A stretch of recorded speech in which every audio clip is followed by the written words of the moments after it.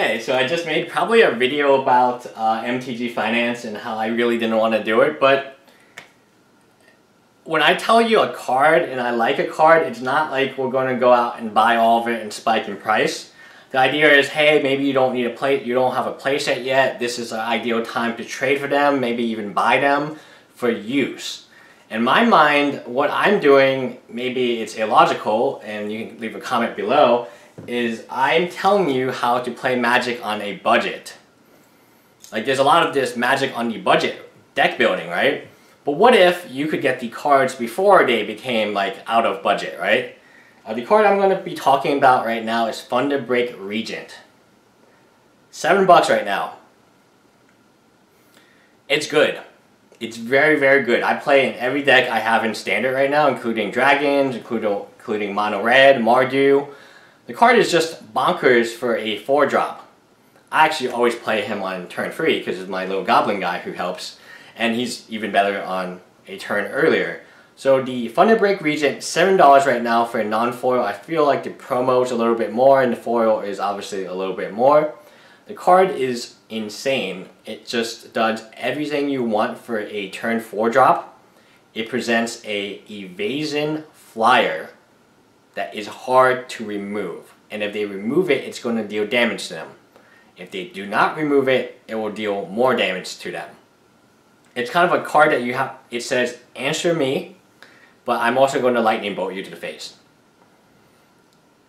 It's a fantastic card. It just curves out so beautifully. $7, $28 you can buy a playset is incredible. You can trade for them for 7 If you can trade for these cards I'm talking about, uh, then that's the best. I'm not telling everyone, hey, we all need to buy 20 copies of this card. I don't understand how like people are drawing that conclusion from this video. I'm just saying that if you don't have a playset yet, it might be time to get a playset. Uh, or trade for one, or in the future, whenever this card is in standard, as long as this card is in, in standard, it will see play in some type of deck. This I can almost guarantee just because of the power level of the card. But just like Stormbreak Drag, Stormbreath Dragon. I purchased mine very early on for less than they were at the peak, much much less than they were at peak. But I used them so many times that I'm okay. Like it's okay. I don't need to trade them away right now. I can just take the loss because I got so much value from using them. And that's the idea I'm trying to present to you guys when I'm making these. Hey, look at this card. Look at this card. Um, that you can make, you can have a tremendous amount of budgeting can be happen even before you have to make the crappy budget deck. You can get the playset of Thunderbreak Regents before they become a $15 card or more. And you can, maybe you need that for your deck and it's $15, it's $60. That's no, no longer, I mean, now you're going to have to trade for them. And typically when a card goes up that much in price, uh, like a Stormbreath Dragon type of card, I know it's not mythic, it's a rare, yes, I'm well aware of that difference. But when a card goes up to like $25 like Stormbreath Dragon was, then like everyone wants to play it.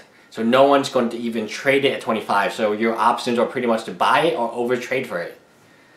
Uh, it's a very interesting to me. I find it um, I, I'm making this channel for people to afford magic cards. I'm not, we are never, I'm not, if you want to make money from this game or speculating on MTG Finance, my best advice for you is to go work at your local grocery store, to go ahead and work at, you know, Wawa or a 7-Eleven or a Walmart and I'm not saying that in any offensive way just the expected value of earning and the consistency of the earning and the fact that you don't have to like sit you don't have to buy these cards and put them in in hope that the card somehow doubles in price so you can make a dollar off buy list um, is not worth it. But if you want to play with this card Thunderbreak Regent at $7 get your playset I'm not telling you to buy 20 of these cards.